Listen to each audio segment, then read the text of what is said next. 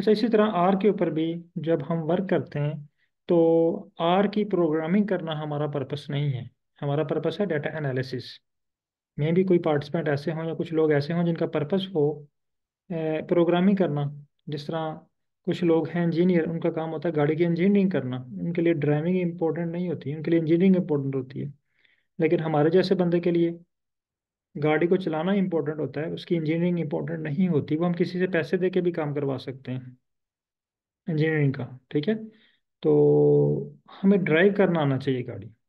इसी तरह आर के ऊपर भी हमने ड्राइविंग सीखनी है, इसकी इंजीनियरिंग नहीं सीखनी। एक बात। दूसरी बात, हमने चार चीज़ें सीखनी हैं। इन चार चीज़ों पे अगर आपको कमांड आ गई तो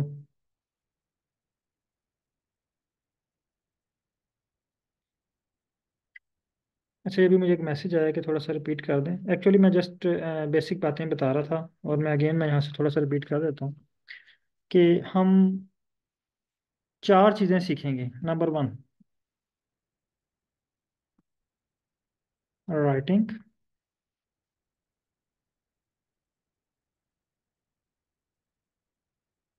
Reading. Editing. और कोड जनरेटिंग अगर आप लोगों ने ये चार चीज़ें, चीज़ों में एक्सपर्ट हो गए तो आप समझें कि आप, को फुल कमांड है आर के ऊपर। और ये मेरी गारंटी है कि अगर ये आप लोग जस्ट छः से आठ दिन ये ट्रेनिंग गौर से अटेंड करें और इसके ऊपर प्रैक्टिस करें। जस्ट आधा घंटा प्रैक्टिस कर लें। तो छः से आठ दिन के बाद आपने मुझे ये कहना है कि, सर, आप हमें एनालिसिस का नाम बताएँ, हम एनालिसिस खुद करेंगे। ठीक है? और तमाम बैच इसी तरह मेरे चल रहे हैं। जस्ट मैंने आपको छः से आठ दिन तक ट्रेनिंग करवानी है, उसके बाद आपका, आप, आपको मैंने टास्क देना कि आप जो है वो पीसीए बना लें, आप कोरिलेशन बना लें। आपने जस्ट सेकेंड में पीसीए कोरिलेशन बना लेना है। अच्छा रीडिंग में क्या सीखेंगे? राइटिंग में क्या सीखेंगे? ये भी हम डिस्कस कर लेते हैं। लेकिन उससे पहले अच्छा आप कहेंगे, सर, आपने तो हमें कहा था कि हम तो एनालिसिस सीखेंगे। वो लिस्ट मैंने आपको भेजी थी ग्रुप में भी भेजी थी। और जब आपने ज्वाइन किया था तो वहाँ पे कुछ लोगों ने मुझे पूछा, जी कोर्स कंटेंट क्या है? तो वो लिस्ट मैंने आपको भेजी कि ये एनालिसिस हम करेंगे। तो यहाँ पे आपका क्वेश्चन बनता है कि, सर, आपने तो कहा था कि वो एनालिसिस हमें करवाएँगे, लेकिन आप हमें कह रहे हैं रीडिंग करेंगे राइटिंग करेंगे एडिटिंग करेंगे कोड जनरेट करेंगे। बिल्कुल, हम वो एनालिसिस भी करेंगे, लेकिन हम उसकी प्रैक्टिस करेंगे। जस्ट वो हमारे लिए एग्ज़ाम्पल होगी। फॉर एग्ज़ाम्पल हम राइटिंग सीख रहे हैं तो हम राइटिंग सीखेंगे ग्राफ बनाने पे। हम राइटिंग सीखेंगे अनोगा पे। हम राइटिंग सीखेंगे रिग्रेशन पे। हम राइटिंग सीखेंगे कोरिलेशन एनालिसिस पे। फिर रीडिंग फिर हम रीडिंग करना सीखेंगे कोरिलेशन एनालिसिस की, कि जो स्क्रिप्ट लिखा हुआ है, इसको रीड कैसे करना है? यानी फॉर एग्जांपल हमारे पास यहाँ पे अगर एक लाइन चाइनीज़ में लिखी हो, यानी बहुत सारे पार्टिसिपेंट यहाँ पे हैं जिनको चाइन आती है तो हम में से सिर्फ़ वही उसको रीड कर पाएँगे जिसको चाइनीज़ ज़ुबान आती है है ना? लेकिन अगर मैंने यहाँ पे ये स्क्रिप्ट लिखा हुआ है, ये ये एक स्क्रिप्ट मैं यहाँ से कॉपी कर लेता हूँ, ठीक है? इसमें बहुत सारे वर्ड इंग्लिश के हैं बस कुछ चीज़ें टेक्निकल हैं जिनको समझना है हमने, ना? अब ये देखें, ये लाइन है, इसको हमें पढ़ना आना चाहिए। यानी ये लाइन हम पढ़ के बता दें कि इसकी आउटपुट क्या होगी। ये कोड है, इसको रीड करना हमने सीखना है कि इसका मतलब क्या है। जब आपको इसकी रीडिंग करना आ गई, इट्स मीन आप फिफ्टी परसेंट पे चलेगी फिर आगे एडिटिंग। अब इस कोड को एडिट करना अब ये देखें, ये एक फ़ाइल के मुताबिक बना हुआ है जिसका नाम है एक्स अब अगर आपने यही एनालिसिस करना है किसी और फ़ाइल के ऊपर तो आपने जस्ट यहाँ से फ़ाइल का नाम चेंज करना है। आपका एनालिसिस हो जाएगा। ठीक है?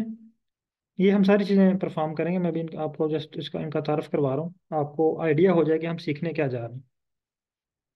ये होगी रीडिंग एडिटिंग उसके बाद कोड जनरेट जब आप राइटिंग रीडिंग और एडिटिंग में एक्सपर्ट हो जाएँगे ना तो आपके लिए कोड जनरेट करना कोई मुश्किल काम नहीं है।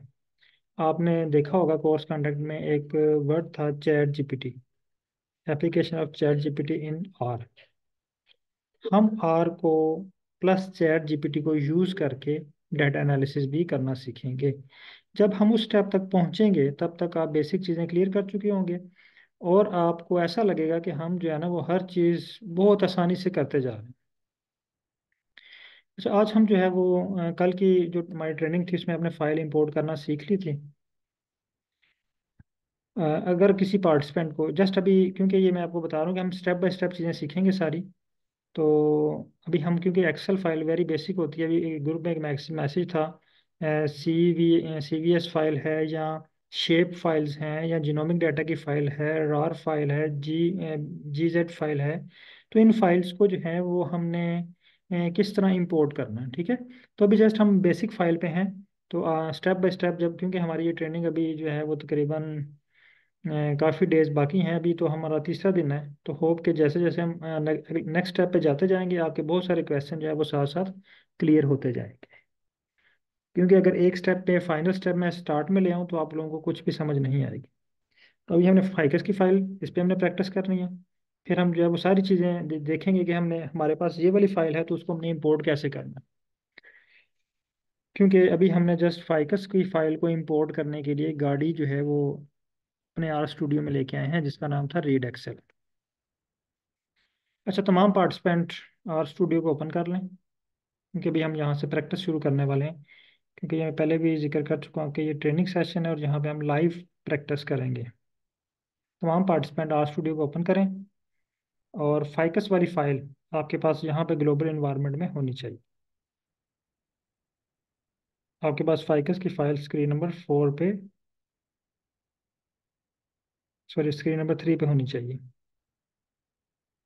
और अगर आपने फाइकस की आर स्टूडियो ओपन किया हुआ है फाइकस की फ़ाइल आपके पास इंपोर्ट है तो यहाँ पे चैट में डन लिखें, ताकि मुझे आइडिया हो जाए कि कितने पार्टिसिपेंट जो है वो उनके पास ओके है, फिर मैं उस लिहाज से नेक्स्ट स्टेप पे चलूँ। क्योंकि ये मैंने आपको साथ लेके चलना है, आपने सारे स्टेप मेरे साथ परफॉर्म करने और साथ साथ रिप्लाई भी करना है।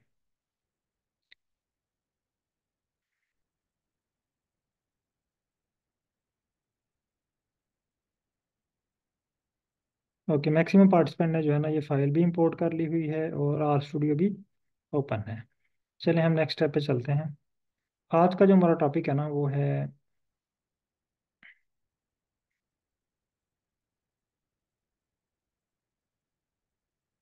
बेसिक ग्राफ आज हमने बनाना है, ठीक है? बिल्कुल बेसिक से शुरू करते हैं, ज़ीरो से। Basic graphs.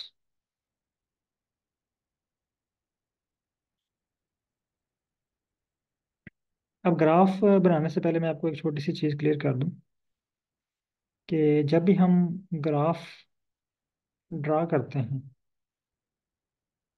तो उसके तीन इम्पोर्टेंट कंपोनेंट होते हैं। मैं यहाँ पे आपको ड्रा करके दिखा देता हूँ।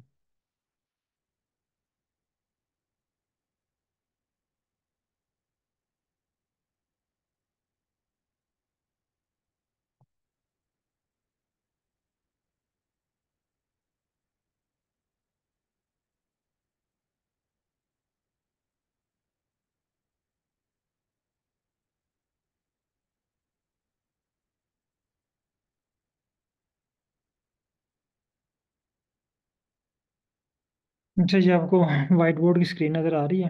अच्छा यहाँ पे अगर हम ड्रा करते हैं प्लॉट ये देखिए। इसके तीन इम्पोर्टेंट कंपोनेंट हैं। Number one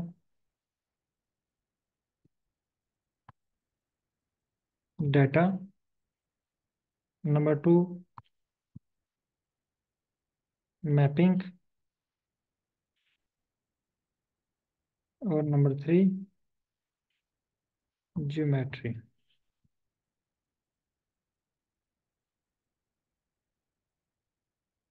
यानी तीन चीज़ें जो है ना, ये इम्पोर्टेंट हैं। डाटा क्या है? डाटा हमारे पास वो एक्सेल की फ़ाइल में भी हो सकता है टेबल की फॉर्म में मोस्टली होता है, ठीक है? ये इस फॉर्म में हमारे पास डाटा होता है। अब इस डाटे में कॉलम्स होते हैं और रोज होती हैं, ठीक है? जो डाटा कॉलम की फॉर्म में होता है ना, उसे कहते हैं वेरिएबल्स जो कॉलम में होता है, उसे क्या कहते हैं? वेरिएबल और जो रोज की फॉर्म में होता है, उसको कहते हैं ऑब्जर्वेशंस ठीक है? ओ से ऑब्जर्वेशन तो कोई भी टेबल हो आपके पास, वो चाहे एक्सेल की फॉर्म में हो, चाहे वो शेप फ़ाइल की फॉर्म में हो, चाहे वो जो है आपके पास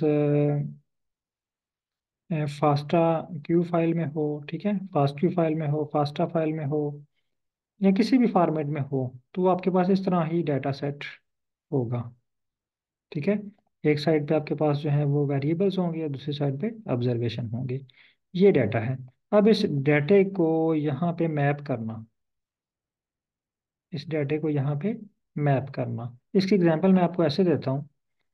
अगर आपने कोई मकान कंस्ट्रक्ट करवाना है, मकान बनवाना है तो उसके लिए आपके पास मटेरियल होना चाहिए पहले। मटेरियल में क्या है, ईंटें हैं बजरी है, सीमेंट है, रेत है, ये सारा मटेरियल होता है।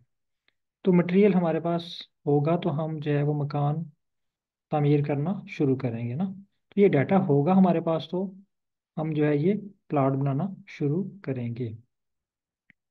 अब जिस तरह हम जब मकान बनाते हैं तो हम पहले डिफाइन कर लेते हैं मैप कर लेते हैं चीज़ें कि जो है बेडरूम कहाँ पे होगा किचन कहाँ पे है, सीढ़ियाँ कहाँ पे होंगी, मेन गेट कहाँ पे होगा, ठीक है? बैठक कहाँ पे होगी? यानी बहुत सारी चीज़ें हम जो है वो मैप में डिफाइन कर लेते हैं। इसी तरह जब हम कोई ग्राफ बनाते हैं तो ग्राफ के दौरान बहुत सारी चीज़ें हम पहले से डिफाइन करते हैं।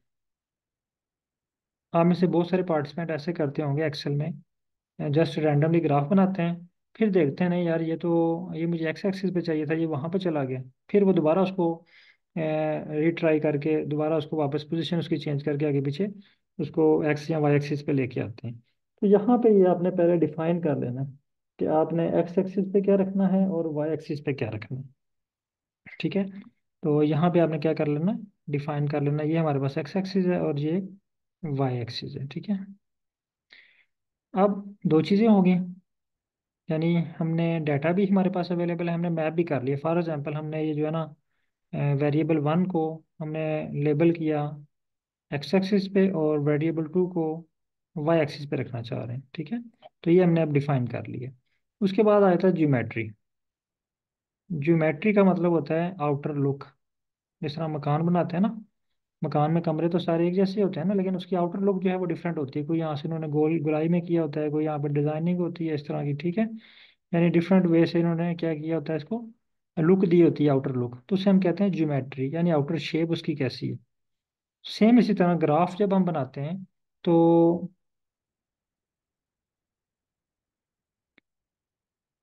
जब हम ग्राफ बनाते हैं ग्राफ बनाने के बाद सॉरी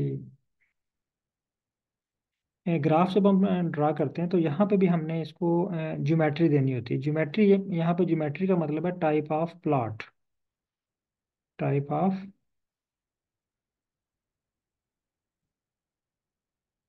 type of plot या type of graph for example मेरा ये एक पॉइंट जो है यहाँ पे बना इसका, ठीक है?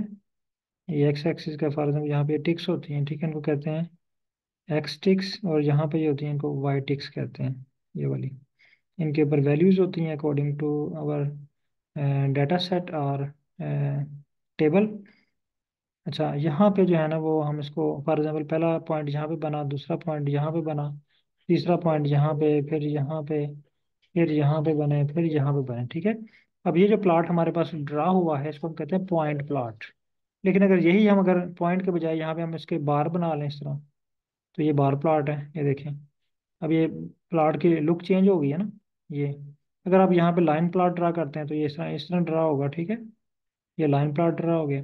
अगर आप चाह रहे हैं यहाँ पे बॉक्स प्लाट ड्रा करना तो आप इसके बॉक्स बना सकते हैं। आप वायलिन प्लाट ड्रा करना चाह रहे हैं, वो भी यहाँ पे क्रिएट कर सकते हैं इस तरह, ठीक है? आप यहाँ पे अगर, जो है वो कोई और प्लाट डॉट या point line line point plot area plot यानी डिफरेंट किस्म के प्लाट हैं वो आप यहाँ पे ड्रा कर सकते हैं। तो उसको हम कहते हैं जियोमेट्री इसकी। यानी तीन चीज़ों का हमारे पास होना ज़रूरी है डाटा मैपिंग और जियोमेट्री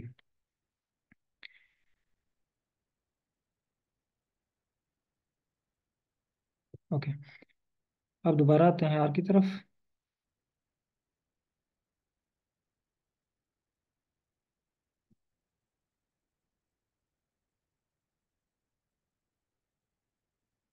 तो यहाँ पे जब भी हमने मैप ड्रा करना है तो मैं यहाँ पे लिख देता हूँ ये तीन चीज़ों का होना हमारे पास बहुत ज़रूरी है।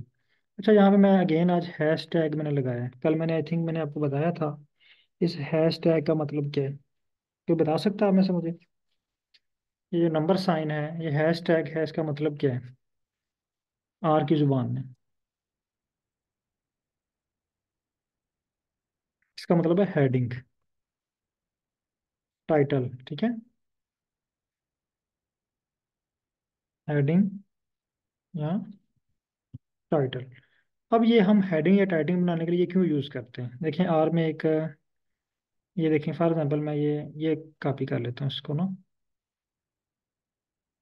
यहाँ पे इसको मैं पेस्ट करता हूँ आपके सामने। ये मैंने पेस्ट कर दी। अब मैं अगर इसको वापस जाता हूँ यहाँ से, ये देखें। अगर मैं इसको रन करता हूँ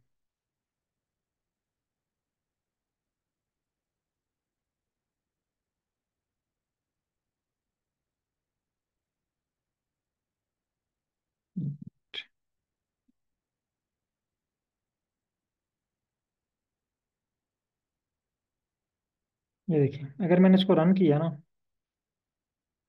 इसने सेम कोड नीचे टाइप कर दिया लेकिन इसने कोई हमें रिस्पॉन्स नहीं दिया।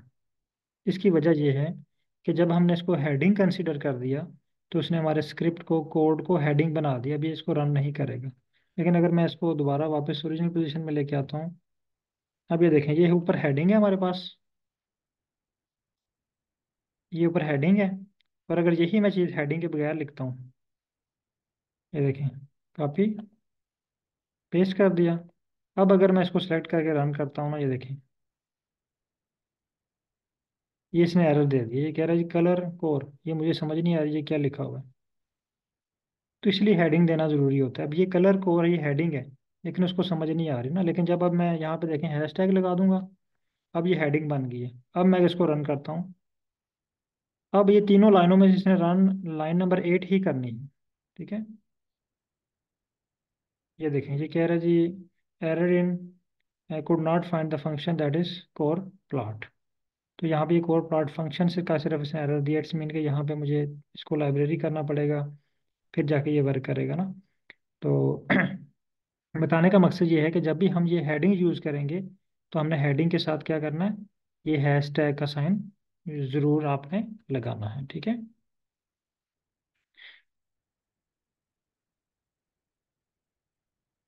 अच्छा यहाँ पे मैं हेडिंग बना रहा हूँ बेसिक प्लॉट यानी बेसिक प्लॉट की हेडिंग है। अब यहाँ पे मैं तीन चीज़ें रिक्वायर्ड हैं, जब भी हमने ग्राफ बनाना है। हाँ हेडिंग लगाना बहुत ही इंपॉर्टेंट है, उसके बगैर क्योंकि ये हमारा कुछ स्क्रिप्ट ऐसे होते हैं, वो बीस बीस लाइनों पे चले जाते हैं पच्चीस पच्चीस लाइनें सौ सौ लाइनों पे चले जाते हैं। तो फिर अगर वहाँ पे हेडिंग होगी तो हम उसको आसानी से रीड कर पाएँगे, वरना हमें बहुत बारीकी से जाके रीड करना पड़ेगा एक एक वर्ड का मीनिंग देखना पड़ेगा। कि ये वाला स्क्रिप्ट हमने किस चीज़ के लिए रन किया था। बहरहाल वो अभी कॉम्प्लिकेटेड चीज़ें आपको नहीं समझ आएँगी।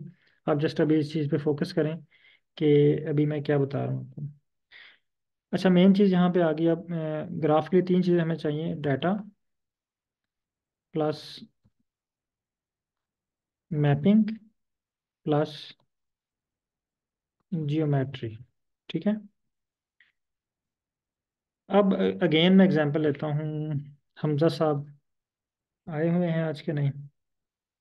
हमजा साहब बोलेंगे, रोज़ मेरी ही एग्जांपल आ जाती है, क्योंकि हमजा साहब अब फ़र्स्ट डे अपने सुपरवाइज़र के साथ इन्होंने अटेंड किया असाइनमेंट कंप्लीट की है। तो आज हमजा साहब का फॉर एग्जांपल आज थर्ड डे है उनके सुपरवाइज़र के साथ। तो हमजा साहब के सुपरवाइज़र कहते हैं कि, हमजा साहब कहते हैं, सर, मैंने फाइकस पे रिसर्च करनी है। हमजा साहब के सुपरवाइज़र कहते हैं अच्छा ये डाटा सेट है फाइकस का ना? ये शो करते हैं, ये फ़ाइल है फाइकस की। ये अब ऑफ़िस में आ चुकी है हमारे ना। वो कहते हैं कि ये फ़ाइल है, आप ऐसा करें कि इस पर ना प्लाट ड्रा करके लाएँ। मैं देखूँ कि इसमें कोई वैल्यू है, जिसके ऊपर कोई हम रिसर्च कर सकते हैं। कोई पेटल विड्थ की, कोई सेपल लेंथ की, कोई किस्म की कोई वैल्यू किसी स्पीशीज में कोई ऐसी स्पेशल वैल्यू है, या बहुत ज़्यादा हाई पे है, या बहुत ज़्यादा लो पे है, जिस पे, जिसको हम इम्प्रूव कर सकते हैं, या जिस पे हम फर्दर रिसर्च कर सकते हैं। तो मैं ग्राफ आप ड्रा करके लाएँ, मैं ग्राफ से देखना चाहता हूँ। अब हमजा साहब क्या करते हैं? जी आ जाते हैं यहाँ पे स्क्रीन नंबर वन पे। तो जिस तरह स्टार्ट में मैंने आपको एग्जांपल दी थी कि अगर हमजा साहब को कहा जाए कि आप पीएच फाइंड करके लाएँ तो हमजा साहब के माइंड में कौन सा क्वेश्चन आना चाहिए? ये बताएगा मुझे? ये क्वेश्चन मैंने आप, आपसे रोज़ सुनना है। जब हमजा साहब को कहा जाए हाँ कि पीएच मालूम करने के लिए कौन सा इंस्ट्रूमेंट यूज़ होगा? अगर हमजा साहब को कहा जाए कि जिंक कंसंट्रेशन फाइंड करके लाएँ, इनके जहन में पहला क्वेश्चन यही आना चाहिए कि कौन सा इंस्ट्रूमेंट यूज़ होगा? सेम अब यहाँ पे, हमजा साहब को आज टॉपिक अलाट हो गया है कि इन्होंने ना, ये जो डाटा सेट है ना, ये जो फाइ फाइकस की फाइकस का पौधा लेके आए हैं फ़ाइल लेके आए हैं डाटा सेट लेके आए हैं इसके ऊपर कौन सा इंस्ट्रूमेंट यूज़ होगा ग्राफ बनाने के लिए? तो हमजा साहब पूछते हैं, सर, कि इसके लिए कौन सा पैकेज यूज़ होगा? क्योंकि यहाँ पे हम पैकेज बोलेंगे इंस्ट्रूमेंट को ना। इंस्ट्रूमेंट भी बोल सकते हैं समझने के लिए अंडरस्टैंडिंग के लिए, लेकिन जब आप किसी एज अ प्रोफेशनल इसको बात करेंगे तो आपने इंस्ट्रूमेंट नहीं बोल देना, वो मेरा भी मज़ाक उड़ाएँगे, आपका भी मज़ाक उड़ाएँगे। ये जस्ट मैं आपको समझाने के लिए एग्ज़ाम्पल दे रहा हूँ कोरिलेट कर रहा हूँ, ठीक है? असल में इसका नाम क्या है? पैकेजेस तो यहाँ पे अब हमजा साहब के माइंड में पहला क्वेश्चन आ रहा है जी, वो पूछेंगे, सर कि इसके लिए पैकेज कौन सा यूज़ होगा? हमजा साहब के सुपरवाइज़र आंसर करते हैं कि इसके लिए जो पैकेज यूज़ होगा, उसका नाम है जी जी प्लाट टू देखें फ़ाइल को इंपोर्ट करने के लिए कौन सा पैकेज था? एक्सेल की फ़ाइल को रीड एक्सेल जिस तरह बायो की लैब में हर एनालिसिस करने के लिए डिफरेंट इंस्ट्रूमेंट है ना इसी तरह आर में भी हर एनालिसिस करने के लिए डिफरेंट पैकेज है। बस इतनी सी बात है, जो आपने माइंड में बिठानी है। ये जिसको समझ आ गई तो आधा आर उसका क्लियर हो गया। हमजा साहब को आंसर मिल गया जी जी प्लाट टू अब हमजा साहब जाते हैं बायोलॉजी की लैब में। ये थोड़ा सा ना, क्योंकि फ़र्स्ट डे है, इसलिए बहुत सारे लोग वेरी बेसिक पे हैं तो इसलिए मैं एग्जांपल देके समझा रहा हूँ। तो इंशाल्लाह तीन चार दिन के बाद हम जो है वो स्पीड से आगे चलेंगे और आप, तब आप एक्सपर्ट हो चुके होंगे इन चीज़ों में ना बेसिक पे। तो हमें वो इतनी मुश्किल नहीं होंगी। अच्छा हमजा साहब अब हमजा साहब के सुपरवाइजर के, अब मैं एग्ज़ाम्पल से कोरिलेट कर रहा हूँ पी इसकी जो है ना वो पीएच मीटर की।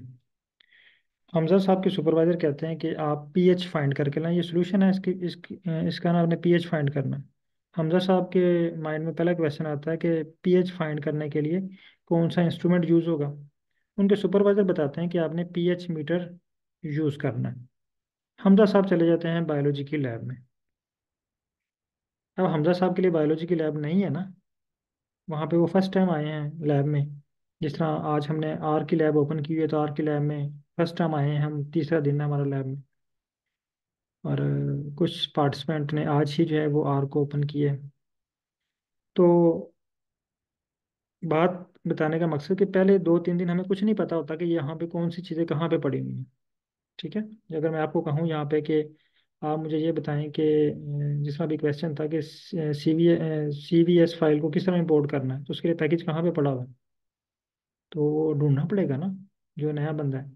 तो अब ये हमजा साहब नए बंदे हैं इस लैब में अब वो जाएँगे लैब में।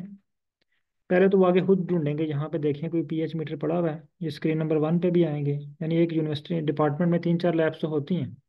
वो, मैं पाकिस्तान की बात कर रहा हूँ, बाहर चाइना में तो यहाँ के पीछे तो काफ़ी होती हैं, मैं पाकिस्तान की बात कर रहा हूँ, तीन चार लाजमी होती हैं। तो एक लैब में जाते हैं, वहाँ पे ढूंढते हैं, आगे पीछे देखते हैं पीएच मीटर नहीं मिलता, दूसरी में आ जाते हैं स्क्रीन नंबर टू पे आते हैं, यहाँ पे ढूंढते हैं, कहीं पीएच मीटर नहीं मिला, तीसरी पे भी कहीं नहीं मिला, चौथी पे भी कहीं नहीं मिला। हमजा साहब दोबारा आते हैं वापस अपने सुपरवाइजर के पास।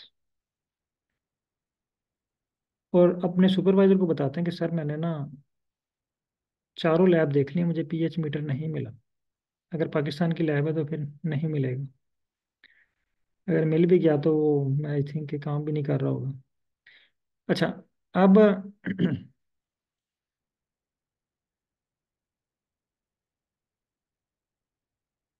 हमजा साहब के सुपरवाइजर कहते हैं, आप ऐसा करें।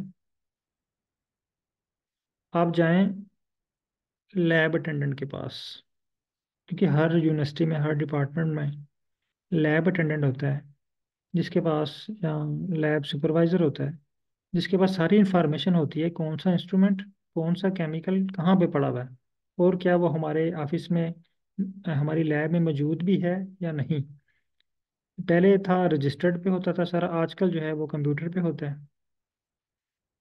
अब, हमजा साहब के सुपरवाइजर कहते हैं, आप ऐसा करें लैब अटेंडेंट को ढूंढें, या लैब सुपरवाइजर को ढूंढें, और, उनसे पूछें कि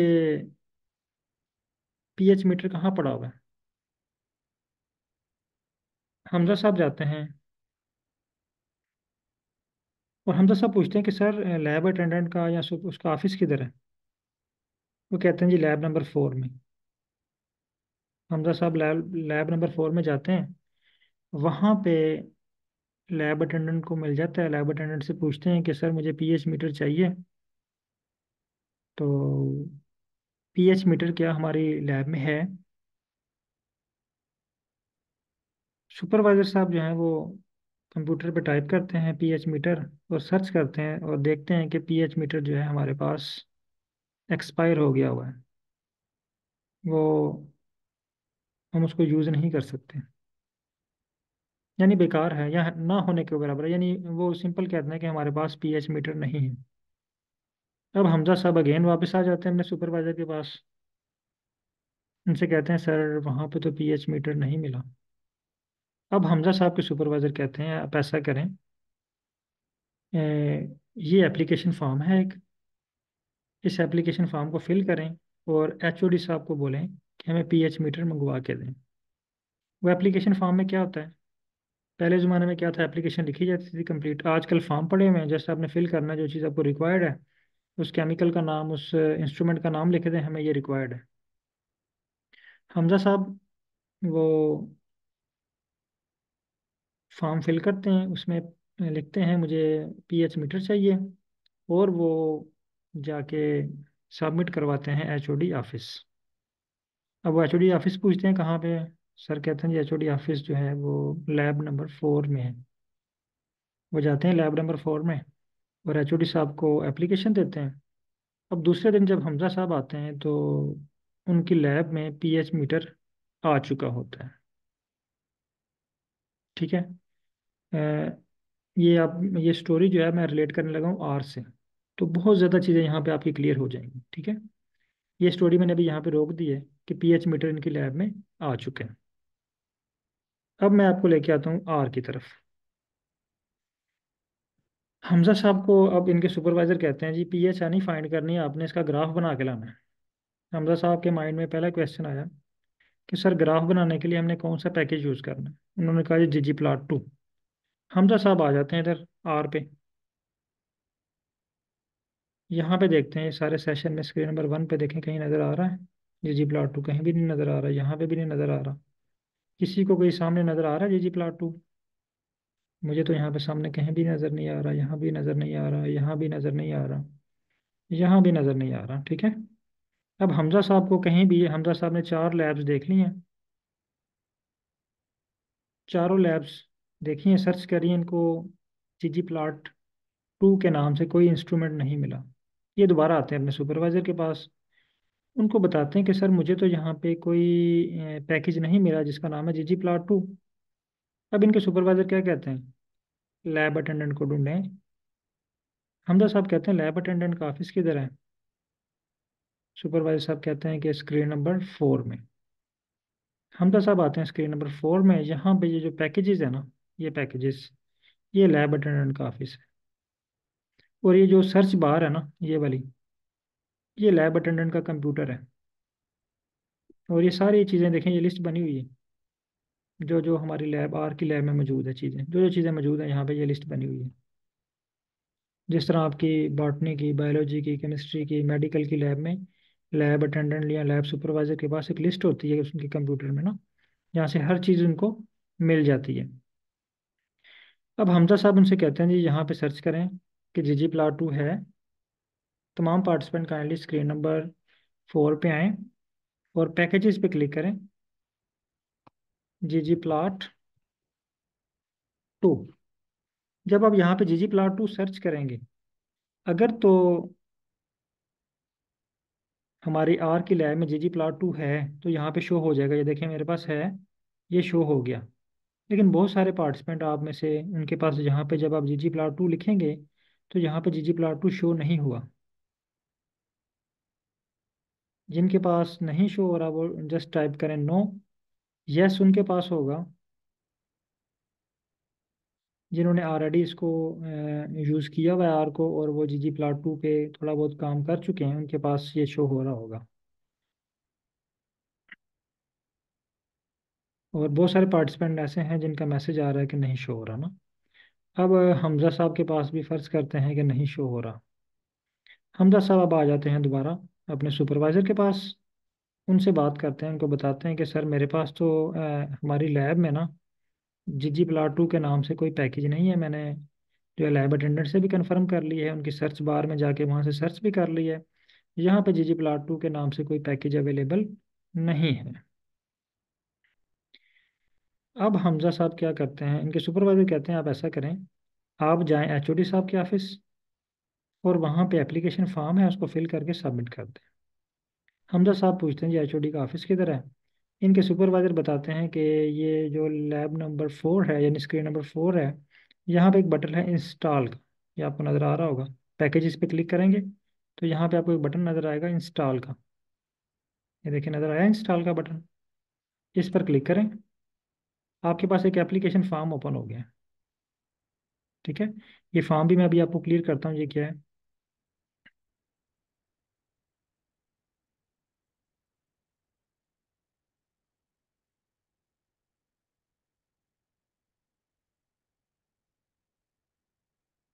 अच्छा यहाँ पे हम टाइप करते हैं। जी जी प्लॉट टू अब इसको इंस्टॉल करने से पहले, अभी कोई पार्टिसिपेंट इसको इंस्टॉल ना करें, ठीक है? अभी जैसे इसको थोड़ा सा अंडरस्टैंड कर लें, ये क्या है?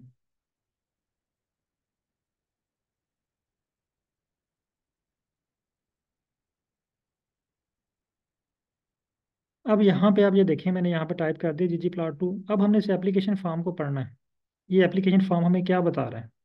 ये देखें, अगर मैं इसको स्टार्ट से शुरू करूँ तो ये कह रहा है इंस्टॉल फ्रॉम अब देखें, जब हमजा साहब ने सर को एप्लीकेशन फॉर्म दिया कि मुझे पीएच मीटर चाहिए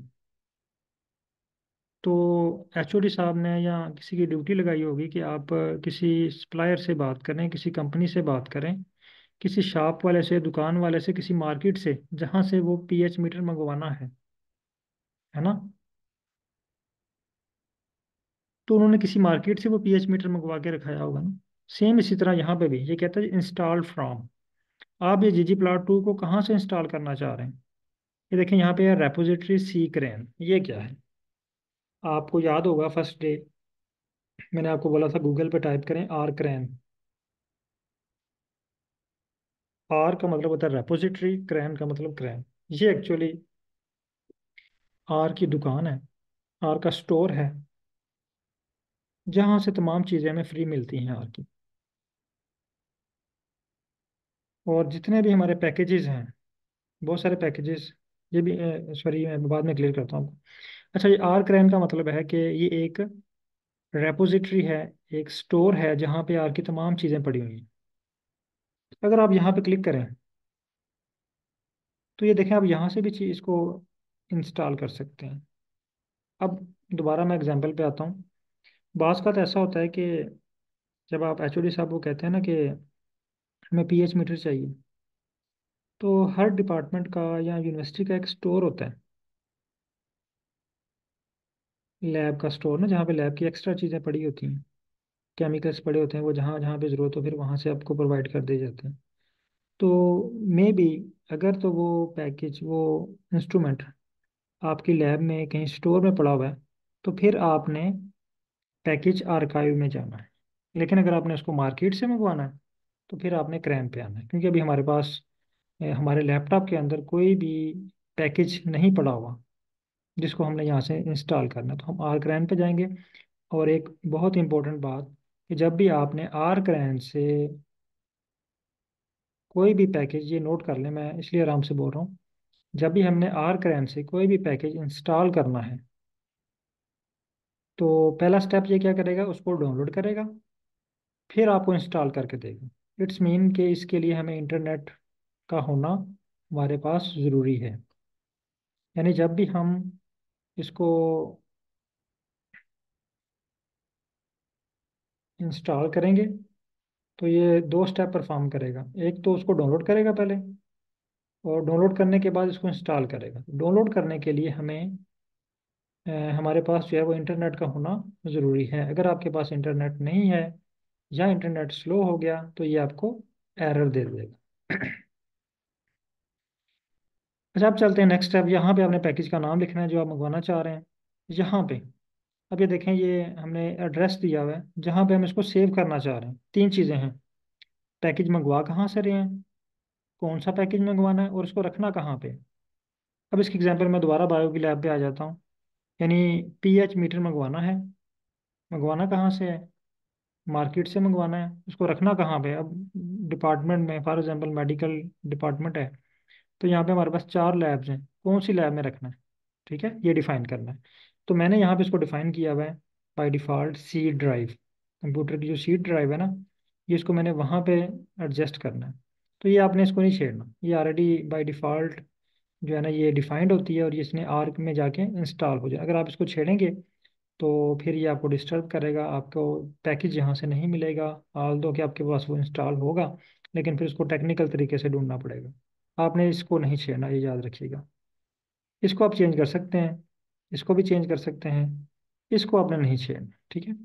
आगे आगे इंस्टॉल डिपेंडेंसीज। ये भी बहुत इंपॉर्टेंट है। इसके ऊपर आपने ये ध्यान रखना है कि इसके ऊपर टिक मार्क हो। जब भी आप इसको इंस्टॉल करें, इसके ऊपर टिक मार्क हो, ये डिपेंडेंसीज क्या हैं? देखें, जब हम कोई इंस्ट्रूमेंट बाय करते हैं फॉर एग्जांपल हम पीएच मीटर ही लेके आते हैं तो पीएच मीटर के साथ बहुत सारी एक्सेसरीज होती हैं। फॉर एग्जांपल उसका चार्जर होगा, उसमें फ्यूज़ होगा, या उसके अंदर एक बुक होगी, उसके ऊपर जो है वो गाइड गाइड बुक जिसे कहते हैं, वो होगी। फिर हमें भी उसके साथ जो है वो कोई एक्स्ट्रा जो उसके क्या कहते हैं पीएच फाइंड करने वाले जो है वो एलिमेंट हों, या फिर उसमें जो डब्बा है उसका वो, ये सारी उसकी एक्सेसरी एक्सेसरीज में आती हैं जो उसके लिए ज़रूरी हैं। अगर फॉर एग्जांपल जस्ट हम पीएच मीटर ही वहाँ से उठा लाएँ, ना उसका चार्जर लेके आए, ना उसके सेल लेके आए तो वो भी हमारे काम का नहीं है। वो हमें चीज़ें मंगवानी पड़ती है ना। तो ये डिपेंडेंसीज का मतलब है जी जी प्लाट टू जिस तरह वहाँ पे हर इंस्ट्रूमेंट के साथ कुछ एक्सेसरीज होती हैं। इसी तरह, यहाँ पे आर में भी पैकेजेस के साथ बहुत सारी एक्सेसरीज होती हैं। आर की ज़ुबान में उसे कहते हैं डिपेंडेंसीज आर की ज़ुबान में से क्या कहते हैं? डिपेंडेंसीज यानी जब हम आर को इंस्टॉल करेंगे सॉरी इसको जी जी प्लाट टू को इंस्टॉल करेंगे तो इसकी जो डिपेंडेंसीज हैं, इसका जो चार्जर है, इसका जो हेडफोन है, इसके साथ जो गाइड है, वो सारी इंस्टॉल होगी इसके साथ। और अगर हम इसको अनटिक कर देंगे तो वो चीज़ें हमें बाद में फिर इंस्टॉल करनी पड़ेंगी, ठीक है? तो इसलिए जब भी आपने इसको इंस्टॉल करना है तो इसके ऊपर आपने टिक मार्क लाजमी करना है।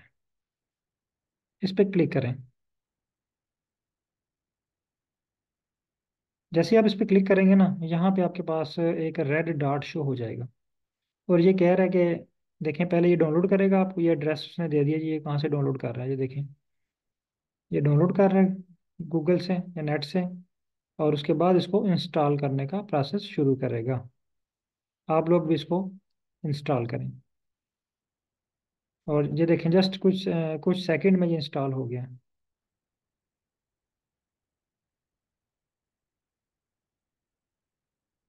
ये देखें, आपके पास ये लाइन आपने नोट करनी है। बाकी ये जो जो मर्ज़ी आए, आपको वार्निंग्स दे एरर दे, आपने फाइनल डिसीज़न इसका रीड करना है। ये कह रहे जी packages G G plot two successfully unpack and M D five sum check जब ये लाइन आ जाए तो आपने समझ लेना है कि आपका पैकेज इंस्टॉल हो चुका है। आपकी बायो की लैब में मेडिकल की लैब में केमिस्ट्री की लैब में फिजिक्स की लैब में, जो स्पेक्ट्रो सॉरी जो पीएच मीटर है, वो एचओडी साहब ने मंगवा के रख दिया।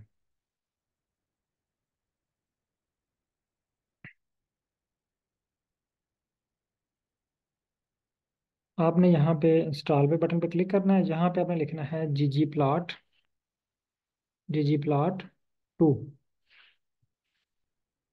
और जिनके पास से डन हो जाए।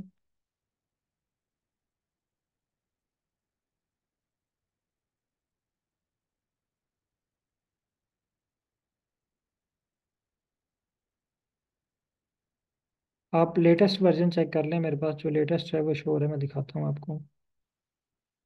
यहाँ पे आप जी जी प्लाट टू लिखें और इंस्टॉल के बटन पर क्लिक करें, आपके पास पैकेज इंस्टॉल होना स्टार्ट हो जाएगा।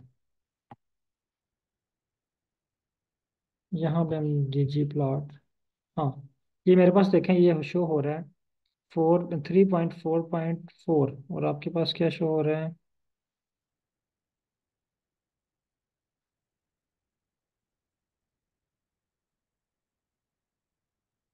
थ्री हो रहा है ना? आप ये कंफर्म कर लें कि आपके पास यहाँ पे कंसोल में स्क्रीन नंबर टू में ये package four point three point two show हो रहा है। ये कंफर्म कीजिएगा। ये मैसेज था।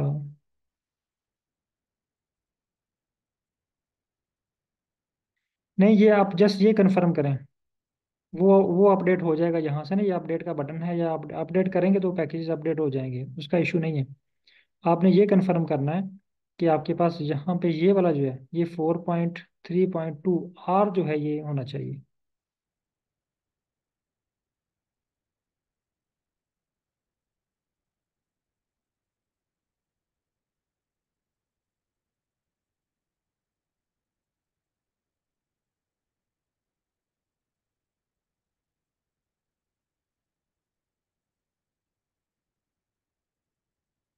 अच्छा जी एक मैसेज आया है मुझे।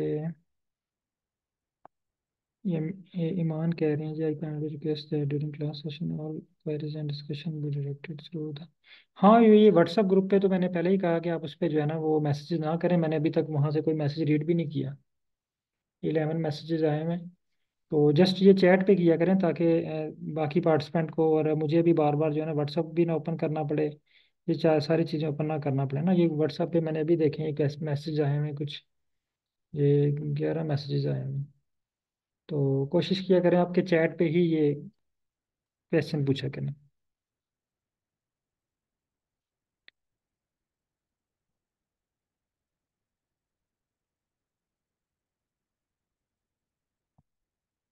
अच्छा आर और आर स्क्रीन में क्या डिफरेंस है? आर स्टूडियो में क्या डिफरेंस है?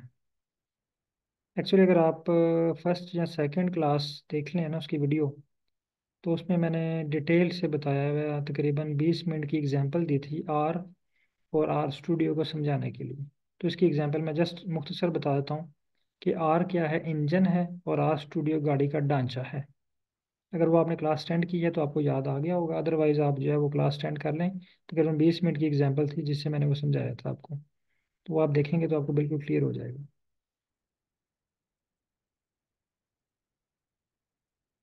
अच्छा पैकेज सक्सेसफुली पैक्ड क्या ही नहीं है मेरे पास। इशफाक, अहमद साहब। काइंडली आप स्क्रीन शेयर कीजिएगा। अच्छा आज की हमारी क्लास जस्ट यहाँ तक थी। हमने पैकेज को इंस्टॉल करना था। तो कल इंशाल्लाह हम इसके ऊपर प्लाट जो है, वो नेक्स्ट क्लास हमारी होगी मंडे को, क्योंकि हमारी जो क्लासेस हैं मंडे टू थर्सडे हैं। आई थिंक कल जो है वो हाँ फ्राइडे है। तो नेक्स्ट हमारी क्लास जो है वो मंडे को होगी इंशाल्लाह। मंडे की क्लास में जो है वो हम नेक्स्ट इस पे प्लाट करेंगे। अच्छा यहाँ पे कुछ मैसेजेस आ रहे हैं।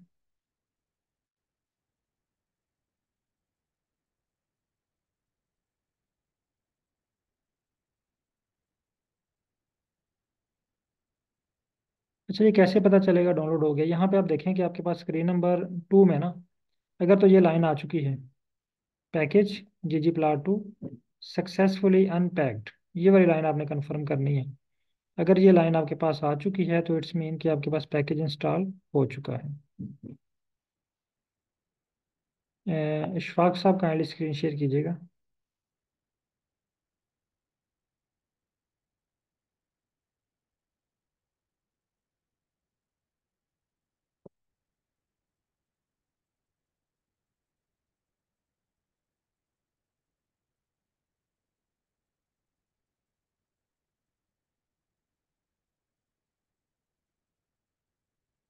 काइंडली वो आप वीडियो में सेंड करता हूँ वीडियो से देख लीजिएगा, क्योंकि मेरी अब नेक्स्ट क्लास का टाइम है तो वो अगर मैं रिपीट करूँ तो टाइम काफ़ी यूज़ हो जाएगा उसमें। तो आप, मैं वीडियो शेयर करता हूँ वीडियो में सारी चीज़ें रिकॉर्डेड हैं, आप उसको एक दफ़ा सुन लीजिएगा। इशफाक साहब, क्या इशू आ रहा है आपका? ये माइक मैंने ओपन किया, आपका माइक भी नहीं शो हो रहा मुझे। आपने हेडफोन तो नहीं लगाए हुए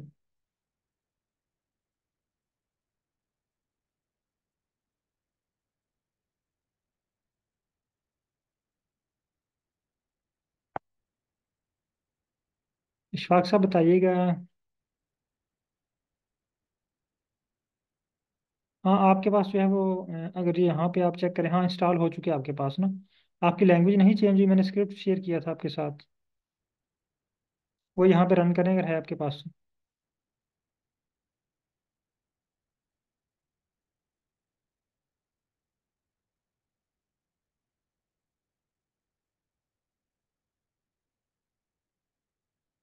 एक मिनट शकील एक मिनट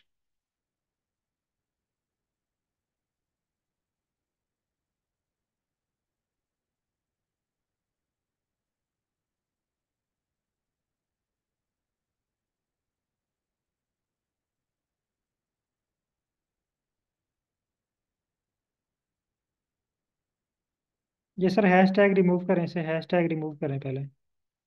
हैश टैग तो नहीं लगाना ना ये तो फिर हेडिंग बना दी आपने। अब नीचे लिखें, अब यहाँ पर टाइप करें लाइब्रेरी नेक्स्ट लाइन में सर नेक्स्ट लाइन में। लाइब्रेरी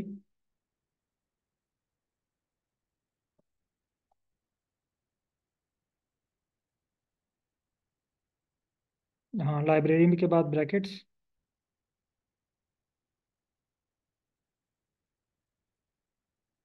हाँ लाइब्रेरी के बाद हाँ इसमें लिखे हैं G G plot two brackets के अंदर लिखे हैं जी जी प्लाट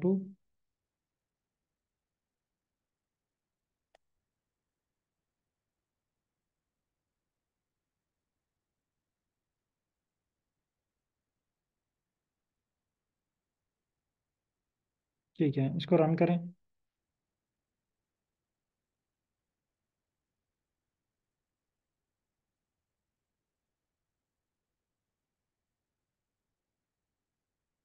ओके होप कि अब आपके पास जो है वो लैंग्वेज वाला इशू रिजॉल्व हो गया आपके पास पैकेज भी एक्टिवेट हो गया। अगर कोई और इशू हो तो आप व्हाट्सएप पे पूछ सकते हैं। अभी एक्चुअली मेरी नेक्स्ट क्लास का टाइम हो रहा है, आप व्हाट्सएप पे मैसेज कर दें या मुझे पर्सनल मैसेज कर दें तो मैं आपको रिप्लाई कर दूँ बहुत शुक्रिया तमाम पार्टिसिपेंट का। होप के आज का लेक्चर आपको क्लियर होगा। अभी जस्ट आप लोगों ने परेशान नहीं हो जाना कि स्पीड हमारी स्लो है। एक्चुअली हम अभी बिल्कुल बेसिक स्टेज पे हैं। जैसे हम दो तीन दिन के बाद आगे चलेंगे तो इंशाल्लाह हमारी स्पीड जो है वो बहुत तेज़ हो जाएगी।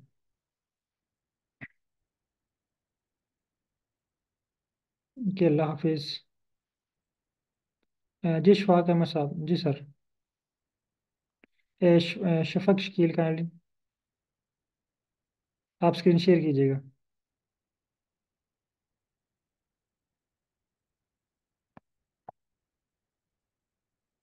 शफक शकील का स्क्रीन शेयर कीजिएगा। इशफाक अहमद साहब मैसेज पे बताइएगा आप।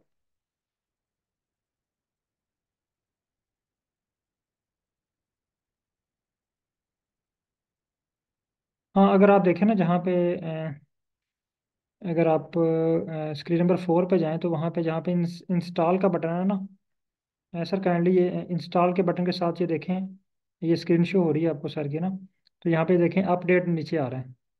आप अपडेट पे क्लिक करेंगे तो तमाम पैकेजेस अपडेट हो जाएँगे। जी नेक्स्ट क्लास मंडे को होगी। जी सर काइंडली बताइएगा। मैं माइक ओपन कर दूँ।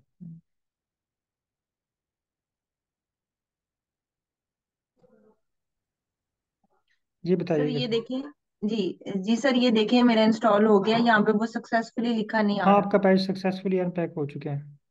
पर सर वो जो एग्जैक्ट ओके। वर्डिंग आप कह रहे थे वो यहाँ नहीं पे आ जी जी रही प्लाट टू भी आ चुका है। जी ठीक है thank you thank you hello okay